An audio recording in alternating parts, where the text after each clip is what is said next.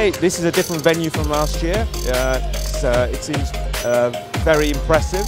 And uh, this year, whereas last year we had students that were showing their talents, this year there are specific designers, so it's going to be different again this year.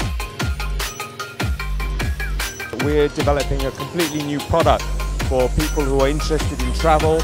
It's called vacation ownership. So we are the first company to bring this type of uh, vacation planning to Vietnam. It's established all over the world, but we're the first ones to bring it to Vietnam.